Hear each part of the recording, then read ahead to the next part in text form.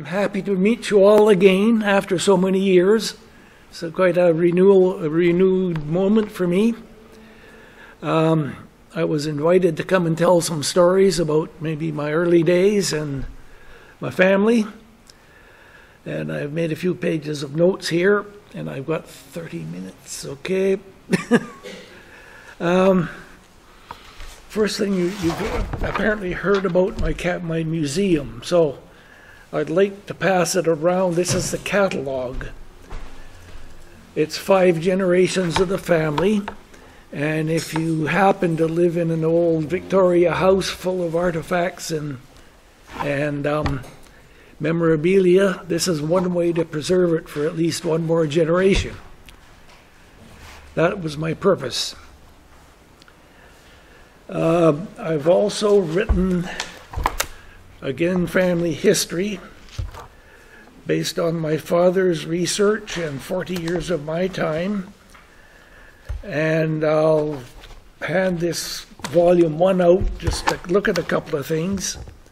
On the front, it says if you go to Google the gene pool, the Genn family of Canada, you have a copy of the catalog, you have a copy of the book. And another interesting story about George Washington, who's part of my family. And I'll just refer you to the paper clip. My most recent discovery was I've located us in the Doomsday Book or Domesday Book, which is the uh, census of England for 10. 86, and it was really an inventory of property, land, who owned it, as well as the people. And so if your name's in there, that's an invite to aristocracy. So um, pass that around, and, and the paper clip is there with a little note in it. Next, I'd like to introduce you to a couple of my relatives. James Ross Haig, born 1845, uh, Greenock, Scotland, marine engineer, my maternal great grandfather. You're aware of uh, Henry Morton Stanley's famous meeting with David Livingstone and then he traveled down the Congo River and saw a huge opportunity with the help of the King of Belgium. He created the Congo Free State. He had 11 boats on the Congo River, nine of them with steam engines. He needed steam engineers. One was James Ross Haig. And in the catalog, you'll see a picture of his compass and also his laptop. And I'm not going to waste time on the word right now, but we may get to that later. Um, my paternal great grandfather, Diogo Madison Genn, born in Olinda, Brazil, same year, 1845. Um, in 1850, the English were run out of Brazil, and he and his father went back to England. His um, Portuguese mother and the other brother stayed there. In my travels, I, after 140 years, I've put the two pieces of the family back together. I have Diogo's passport and his 1874 diary. And I was so intrigued by it, I, I knew a um, handwriting analyst I met on a cruise ship. So I sent it to her and said, "What can you tell us?" And she wrote four long pages about about um, Diogo. And I've got four children. I handed it to the eldest one, and he read it. He said, Dad, this is you. And I passed it to the second one eventually, and he said, Dad, this is you. And the other two said the same thing. So that's kind of a curious Um, Discovery. Um, Diogo died at age 32 and fathered six children. Four of them made it to Victoria in the about 1880. Uh, the eldest, Emily, that's her family out in the yard. I can talk about that later. Uh, the she brought her li- little brother. eh, She came out to Victoria in um, domestic service, look after some family. Brought her little brother. Um, Reginald was the next one to arrive. On a, he was around the Horn twice, on once on the Nith and once on the Riverside. Jumped ship and in San Francisco, came overland and caught up to his sister. So he got established in Victoria, and that put three. And there's one other sister, Bertha. And I'm not going to talk about her, but she is in the book. And what I did write the story in the book, I just gathered the newspaper clippings, put them in date order, and typed them. So if you can find that story, you might find some amusement in it. Um, Diogo's cousin, Royal Navy Sub-Lieutenant Edward Hawke Genn, 1865 on Esquimalt Station, 1867 on the steamship Beaver. I don't have to discuss the Beaver, you know that one? It was in, it, Beaver, well, first of all, it, it saved the Pacific coast for, Be- for Canada. I can ex- explain that sometime. Uh, it was in passenger service, reconfigured. It went into survey service. It, uh, and Sub-Lieutenant Edward was the midshipman doing the recording of the of the survey. And so Captain Pender was running out of names for all the islands and things he had to put on the map. And so that's how Genn Island got named. Captain Walbran's book, Place Names, tells the story about him and how he went out to Calcutta, got the cholera, and died a couple of months later. I have pictures of him, pictures of his grave, and the, that's whole story's in the book. Um, that's not the end of the story about naming that island. In 1897, my grandfather, son of Diogo, Reginald, decided to go to the gold rush, got a two Norwegians for partners, went to Seattle, bought a sailboat. To take a sailboat on the open ocean, you better ballast it, fill it full of rocks. But they didn't. They bought $300 worth of potatoes, filled the hull of the boat with potatoes, and sold it for enough money in Skagway to pay for the boat.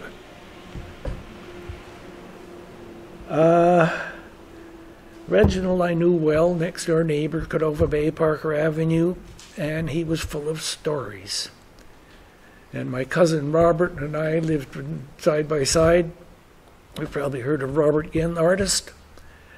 And Reginald told us his life stories. And he claimed that when he sailed up past the mouth of the Skeena, ran the sailboat on sandbar at low tide, had to wait so many hours to float it, went ashore to hunt meat for the boat, and in the process squared a tree with his axe, which was probably for the butchering, got his indelible pencil and wrote Genn on the four sides. And his claim was that's how the island was named Genn Island. Well, we got two stories, completely opposite. And after 70 years of hearing them, I um, decided to try and figure out the puzzle.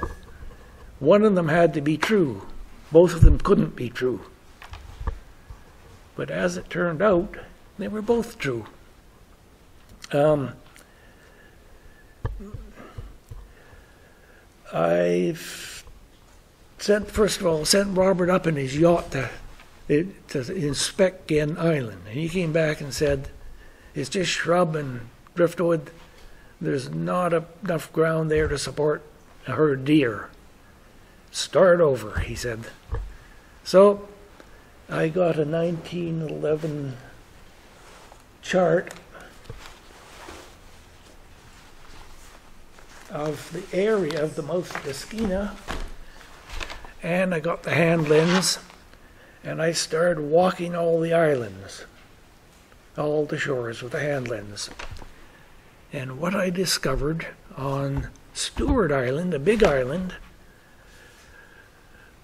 was a new navigational light, and it was located on marked tree bluff.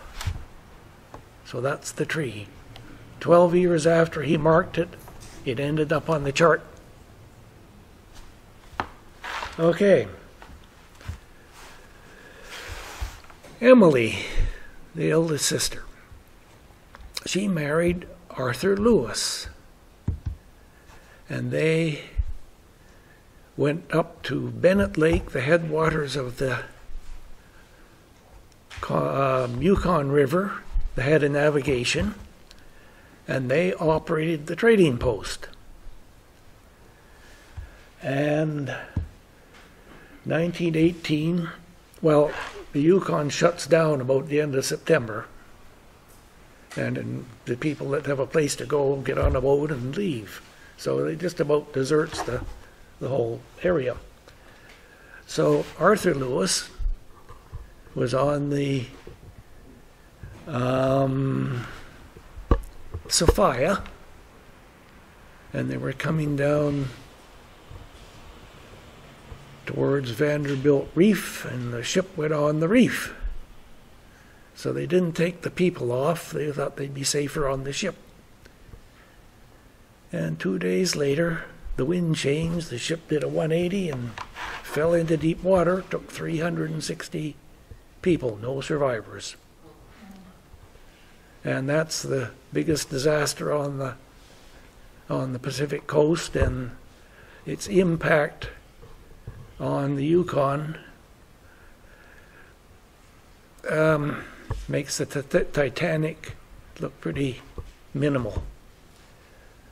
Um, so, Emily, Lewis, um, Harold, her son, Nora, her daughter, are, we just found the headstone out here. Peter showed, reminding me where it was.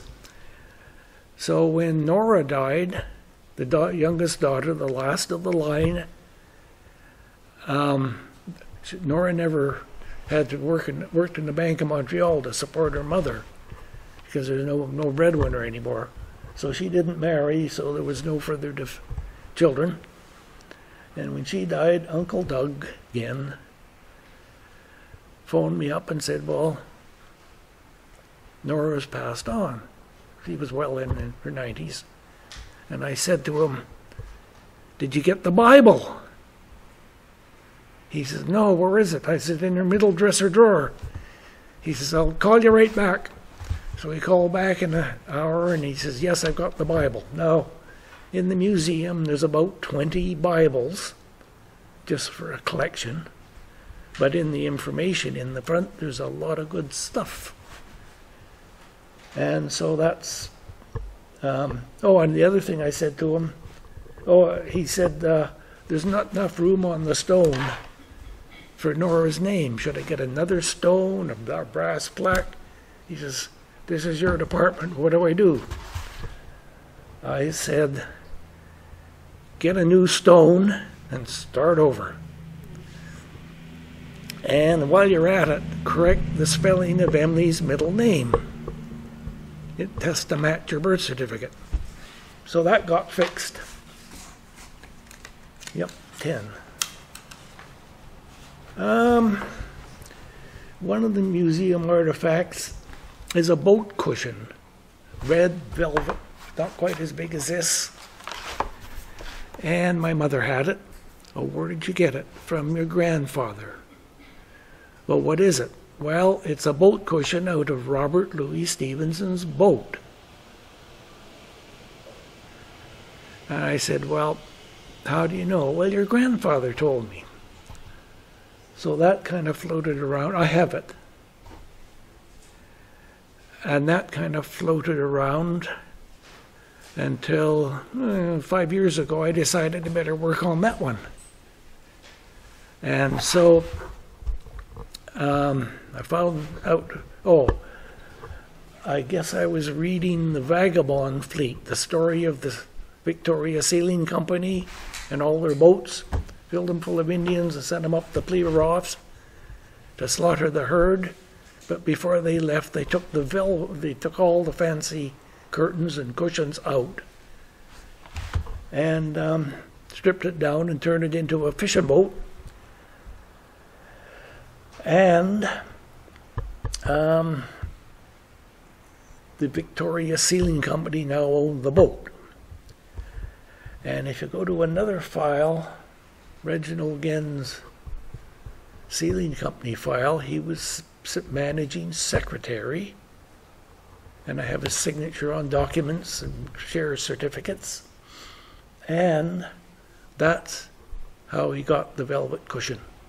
Probably locked it up in the washroom, brought it home. Okay, that's what goes into writing these family histories.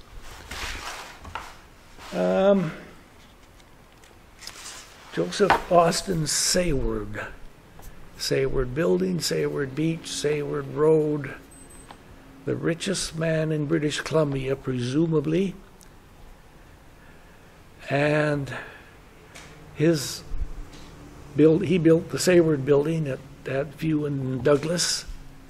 And again, a state accounting firm. My grandfather and my father was the top floor, floor six. That was Sayward's registered office for his companies. Um, he owned the mills that cut the lumber that built Victoria. You heard of Mill Bay? That's his biggest mill. And so he died in 1934, and in 1935, my grandfather built his home on the first lot on Sayward land. Cut some pieces off for Uncle Doug to build and my father to build. So that's the land that we have our home, had our home on, Sayward Beach. Um, in the museum, you'll see a picture of a about a one-ton safe. Beautiful thing, all painted and ornated, combination, clank, inner doors, clunk, and J.A. Sayward painted across the top. That's Joe Sayward's safe. And there's hardly a day that I don't put something in or take something out. So that's in the museum. But really, what I really wanted to do was talk about the war stories. I was born in 37 and the war started in 39, I guess. And so I lived my childhood through the first years. But my father was the deputy controller for civil defense. And everywhere he went, I went. So I got to be the assistant deputy controller. Okay?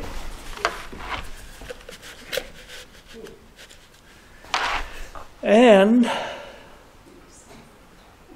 one of our first adventures as uh, me as the assistant to the deputy controller.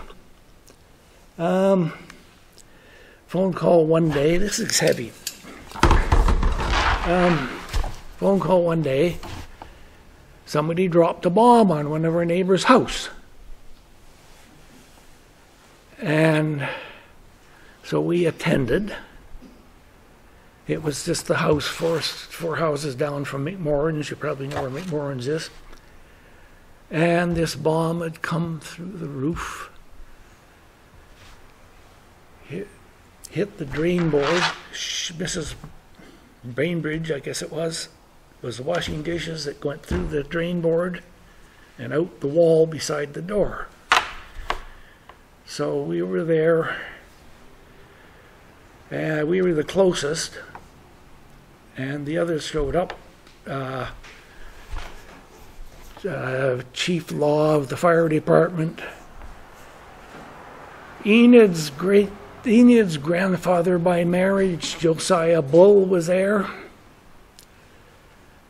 And oh, have you ever seen a bomb? Do you know what a bomb looks like? Anybody not seen a bomb?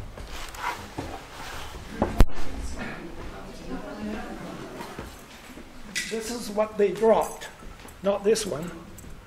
This is just a, uh, this is just a civil defense training bomb. There's nothing in it. But this is what they use for practice.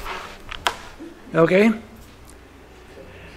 And we had a bombing target off Couch Cowichan Head, north end of Sayward Beach, and another one kind of at the foot of of Mount Douglas, and the Handley Page Hampdens would come in and bomb these targets.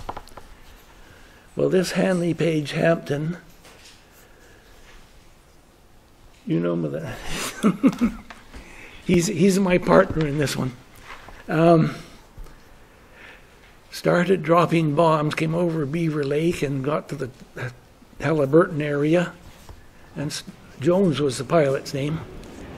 He started dumping his bombs, and he hit a house up next to Peter, and um, we both wrote our little. Well, Jack um, Knox, the columnist, did a very short blurb on this event. Peter saw it, I saw it, we each wrote our story, and then he put it all together and did a one page on this. I'm, uh, was it, what was the fellow's name that? Yeah. Um, Peter's comment in the paper was, uh, it didn't seem to bother him too much. He was bombed most of the time anyway. You remember that? I have the article. I didn't make that up. And so I'm standing there, I am five-ish, I guess I'm five years old, with the chief, fire chief and the police chief and my father. And they're asking Mrs. Bainbridge, well, the plate got broken. Well, did you drop the plate or did the bomb hit the plate? And I thought this is a bit boring. So I said to my dad, I'll see you back at the station. And I don't quite know how I pulled this off, but I walked out, got in the Saanich patrol car, passenger seat, and the officer says, Where do we want to go? Oh, let's go back to the station. So we were heading back to the station. I mean, you wouldn't do that now, but that's apparently these guys are supposed to be looking after me anyway. I said, Can I use the microphone? Yeah, he says, You want to tell the story on the bomb? Yeah, sure. Here, he gives me the mic, turns it on. So I broadcast the news about this bombing uh, for the first time. Um,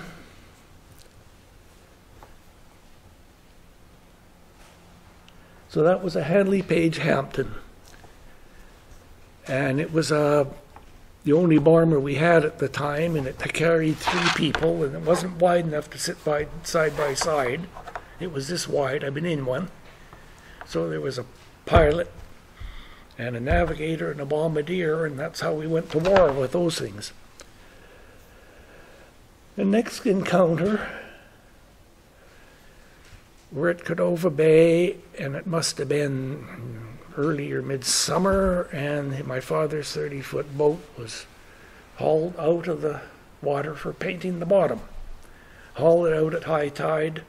You got till 12 hours to paint it and put it back in the water. So he's painting, and I'm down at the edge of the water, um, playing in the sand, I suppose. And I walked up and said to my dad, what, there's Hampdens, the squadron of Hampdens coming over the islands, which meant the American islands, and a squadron is six, always six planes.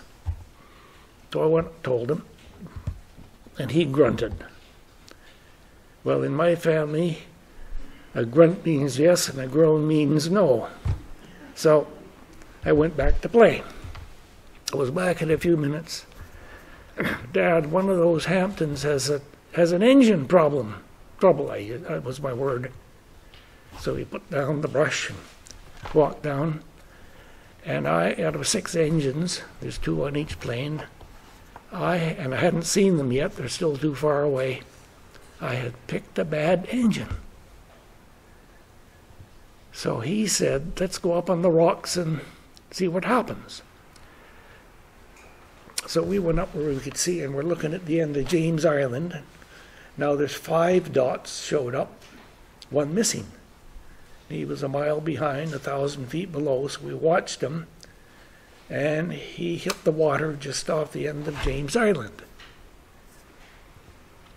Um, so, um, my dad says, um, Will you stay here and take charge? I'll go phone this in. And there's not much I could do about that.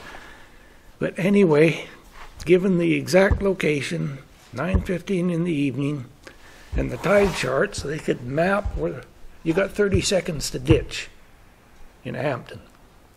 There's a life raft and there's three people. So if they got out, they would be heading out to sea on this ebb tide. They picked them up at three in the morning off Ten Mile Point. So that's the Hampdens. But the next one, I was on my own. Same setting, down by the shore, Saturday afternoon. And there was a huge roar came over the trees. I would have said it, like, now I'd say it was like a Harley Davidson with the throttle wide open. And this plane just came over my head and hit the water uh, I would, uh, at Zero Rock, which is before you get to D'Arcy Island. And I saw it go in the water, and I watched for a bit, and then I saw the parachute. So I went up to, ran up the stairs, and the phone is a wooden box like this. And there's the secret sea rescue number on the phone. So I told the operator to give me that number, and the fellow answered. I said, There's a, a fighter plane just went in the water at Zero Rock. He said, Okay, I'll get somebody out there. Strand, I'll send a strand here. Thank me very much. And I went down to watch the rescue. And then here comes the Princess Elizabeth around Gordon Head Point. So I said to myself, he probably doesn't know about that. Up the stairs again, right up. Got on the line again, and I said, Elizabeth is two miles south of the crash site. So he said, Thanks, I'll give her a call. So I went down to watch. Elizabeth comes up, stops drops a lifeboat. That's uh, what happened next. is too far away to see. So that's how they got that fella back. Some other war stories that um, I wasn't really part of, uh, but Uncle George was in World War One and World War Two. I have his from World War One. I, I have I've I've got his tin hat from World War Two and his gas mask. Well, my house gas mask training was every Sunday morning at ten. You know, people don't believe that we had to have gas masks. Um, we, our house was blackout. We were visible from the ocean so all the outside windows were covered with cardboard. There was a 110 watt bulb we were allowed in the house. The car my dad could drive because he was official, but the light headlights were covered and there was a slot about this big just to drive by. Uncle George, World War One, I got his his pay book and his discharge papers. He went overseas with the Canadian Expeditionary Force at the age of 12. I have the documents. He was a bugler. And I don't know why the Army needs music, but that wasn't the purpose of the bugle. You see, there was no radios and no other communication, but you could have 3,000 troops camped out in the forest, and the generals would get together. We're going to advance tomorrow at 6 o'clock. George, go and blow that. So he would send the messages out with his bugle. Could you imagine what would happen if a if a 12 year old got got retreat to advance instead? Anyway, um, James Island. Do you remember that that the uh, the explosion? Anybody remember that? I was in about grade five at Cordova Bay School, so this would be 1947 or 48, 47, I guess, for its first year. And we're sitting there minding our business or doing something. And all of a sudden, there was a huge explosion that just shook the air. And then we looked out the window, and here's a great ball of black smoke rising. And everybody looked at me in the direction the smoke was at, right on line with my house. And I was known to have a chemistry set. And that was the talk around the classroom. You just blew your house up. but that wasn't entirely true. Um, CIL's munitions plant on James Island. It was set up each building, the buildings were separate and the natural forest retained between them. A mishap in one wouldn't necessarily take out the whole industry. So the newspaper reported the explosion, two fellas burning garbage on the beach. There was explosives in the garbage, and both of them were killed. That's what we were led to believe. And years later, I worked in the Forest Service with Bob Carpenter. He was my age, he lived on the island. One entire plant was leveled, 28 people killed, but never reported. So that's another of my war torn stories. Uh, um, you remember Mr. Murphy, the phys ed teacher? A few smiles and a few scowls, yeah. um, his wife, did you know his wife? And she introduced herself. You know Mr. Murphy, I'm Mrs. Murphy. And she used to talk to me, and she told me about her time at Estevan Point at the lighthouse. She was staying there. She had a one year old child with her. And that was the night the submarines opened fire on the lighthouse. And the lighthouse keeper climbed the 110 foot tower of the lighthouse and switched off the light. The submarines went home. But the nearest to a direct hit was seven feet from the front door. That's her story. Um, there's a story about a, another boat that was torpedoed. I thought it was the Camosun, but I did some checking the other night, and it was the SS Fort Camosun, a freighter.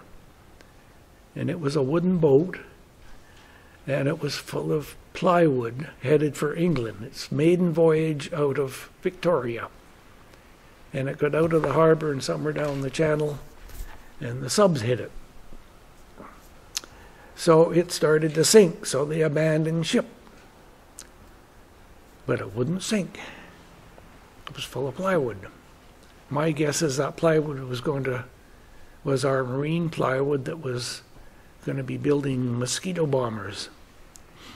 Um, so anyway, they towed it ashore and uh, pumped and pumped it out, patched it up, went back into service.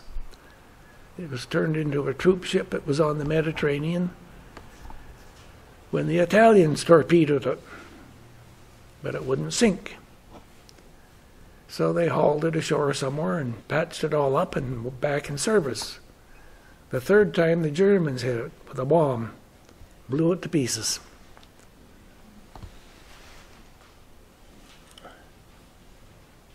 Blackouts for submarines I told you about, gas mask. How many of you ever seen a, a, a Japanese balloon?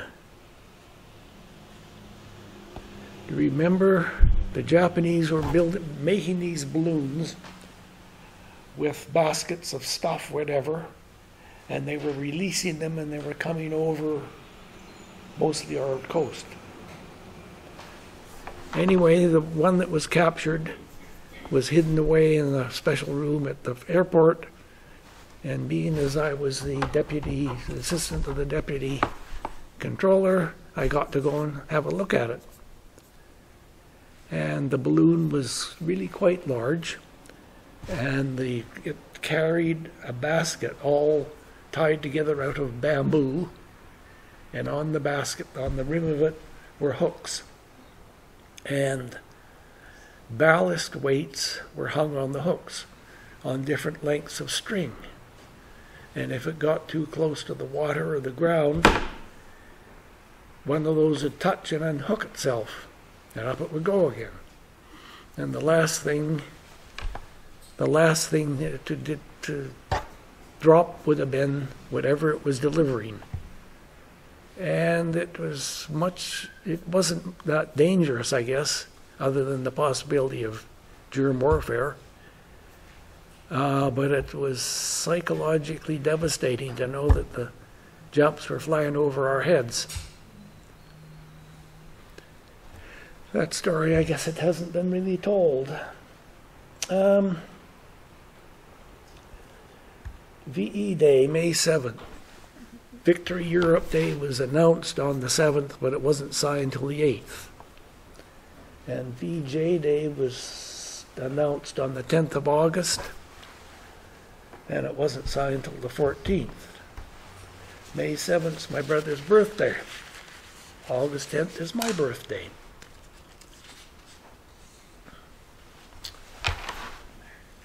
I did grade one, and my father did grade one at the one room school, Royal Oak, not at the same time. Um, what happened to Kenny Polson? He's what? The first day of grade one, on the bottom step to that school, over on the right hand side, we sat side by side and cried our hearts out.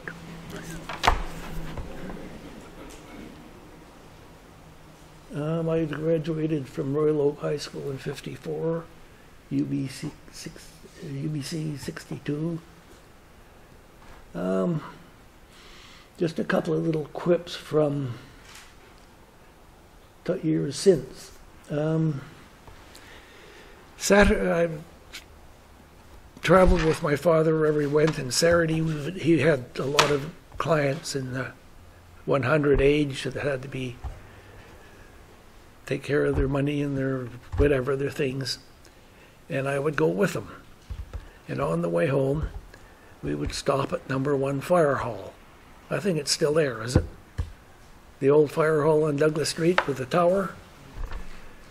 Do you know what the tower is for? Most people don't know why a fire hall has a tower. If you're using natural cotton hoses, you got to dry them. Yeah. That's, I'm glad somebody knew that one. Um, anyway, we would stop at the fire hall, visit with the firemen. My father, I have his fireman's badge from 1922. And um, there was only one engine in the hall. So, and there were two firemen in the hall. So we sat in the office and talked for a while. Fire here and a fire there, and everybody's out, but we're left with one fire engine, the two of us. So we had a good visit. And then the phone rang. So the two guys jumped up and said, We got to go. Would you take the calls? Just def- defer them to number three. Okay, so we sat there. The phone rang again. And I hear my dad saying, Sorry, I can't give that information out. No, I cannot tell you where the fire is. We don't, we want to keep the crowds away and whatever. And I could hear the, uh, the reply after so many minutes, and I could hear what was said. Ken, is that you? My father. This was Chief Law wanting to know, one, where all his firemen were in the trucks, and he wanted to know why we are in his fire hall. So we got that sorted out. And then there's another story he told me. He was on his way to work, um, Road, to go to his office one morning. And he noticed on the side of the road that the grass was a bit trampled. And it hadn't been trampled the day before, so he stopped and got out, walked in the bush, and here's a safe. So he went, got to his office and he phoned Enid's grandfather by marriage, um, Chief Josiah Bull. Hmm? Yeah, okay. And said, Have you had any robberies over the night? No, none that were been reported. Well, if you're missing a safe, I'll tell you where it is. And Chief Joe says, Ken, how come you're out there every morning solving our crimes before we heard of them? They were good buddies. Anyway, that's about the end of my story for now. Don't you have stories from school? From school. Uh, not that I want to talk about. Sounds good. Yeah. They're the best kind. Well, maybe next time. No, I don't have much, much recollection of public school. I was pretty much on my own, small for my age, and I was in grade three at the age of six. So, thank you very much. Yeah, Yes, you talked about the name again in the Domesday Book. yes. Yes. Have you been able to actually track the genealogy back to that location? I got that one just a couple of months ago. I just found uh, something on the internet, a report that somebody written on something about it, and I read it. It referred to the Gens of Anjou, French, France, now in Yorkshire, and I said, that's us. I took it right off an article and copied that little bleb word for word. Um, I started writing, well, I guess I inherited uh, my father's collection of artifacts and letters and all the stuff from every time somebody passed on in the family, he dedicated a shoebox to him. Not for the ashes, for the papers, the letters, the wallet, the photographs. And he saved all that stuff, but he didn't know what to do with it. So in about 80, 82, I think he died, and I inherited the, a truckload of stuff. Gave it to my cousin Robert, And he brought it back and said, This is really good stuff. You better do something about it. And he left. so I did. I started writing on my Commodore uh, A drive, B drive, multimate. Two fingers. I can type two fingers because that's as fast as I can think. Okay? Works perfect for me. Um, so I wrote something. My name is David Genn. I was born, I was very small then, and I couldn't think of what else to say. Well, genealogy, every time you answer a question, you automatically create two more. It's endless. So obviously, when I wrote that, I got a mother, a father, and that's how it started. Are we done? Any more questions? What year did you go to Royal Oak School, the old schoolhouse? Um, 37, 38, 39, 40, 41, 42, 40, no, 43, I guess.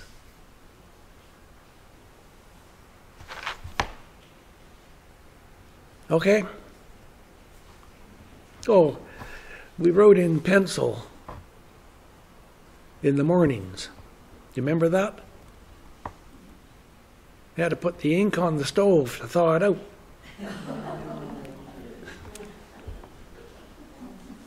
well, that's what we did. Okay? We done? Whoop! The only time this ever did any damage, it was on the mantelpiece and it fell off and made a big dent in the hardwood floor. David, the question was, what about your museum? Oh, well, yes. Nobody in my family wants it. Everybody's downsizing, uh, decorating modern. And I'd like you to give some thought to what we could do with it. I have uh, Caroline Dawson's been out to visit, had lunch, and studied it. Saanich has no place to put it. Um, Valerie Green, that writes the books of Victoria, she's been out for lunch. She's supplied me with stuff about my family that I put into mine, and I go to her book signings. And she, she's a member of the Saanich Historical Society. Um, the archive, uh, Caroline said, This is too big for Saanich. I want to refer you to the Royal BC Museum. And so I forget his name, the archivist came out. I had as a door prize for him a carton of stuff about the Pierce family and other things for his museum that I really shouldn't have, including uh, uh, the Bible that Bishop, I think it was Cridge, gave to Sarah Jane Pierce and, and um, her husband Pierce uh, as a wedding gift, all inscribed. I had all this stuff left over from the family collection. And so he referred it to the curator. He didn't show up, but I talked to him, and he looked at the catalog and said, Well, this stuff wasn't made in British Columbia. We don't do anything with it. So I've come to a dead end on it, and um, if some of you want to come out, well, the address is, I'll move on here. Um, so if somebody wants to come out to look at the museum, we're there all the time. And um, let us know, and we'll be sure to be home. You're gonna stay for refreshments and stuff? Yep. So if you want to make arrangements to visit David's museum, he's gonna stay for refreshments, and you can talk to him during the refreshment break, okay? Yep.